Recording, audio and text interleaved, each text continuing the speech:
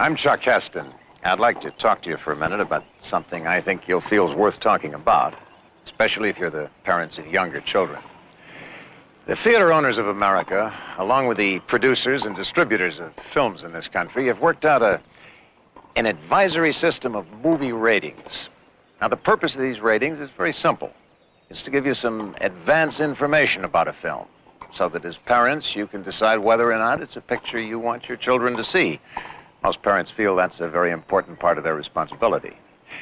Let me explain to you what the different ratings mean.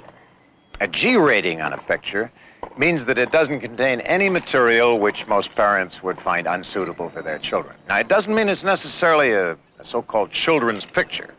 Many fine, significant films have been rated G. But a PG rating on a picture is a special alert for parents. That means that the film contains some material which you, as a parent, may possibly find unsuitable for your children. Your concern may be violence or language or sensuality or even the overall theme of the picture. But before you let your children go to see a PG rated film, find out more about it. Ask around. Talk to your friends or neighbors who've seen the picture. Read reviews in newspapers or magazines. That's the only way you can satisfy yourself that the film's suitable for your children.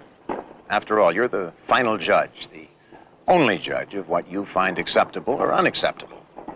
Now, an R rated picture definitely contains adult material.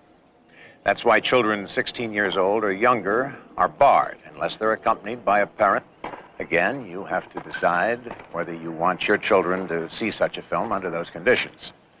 The X rating, of course, is reserved for films that are totally adult in content. No one under 17 can enter a theater showing an X rated film. And in some cities and states, the age requirement can be even higher.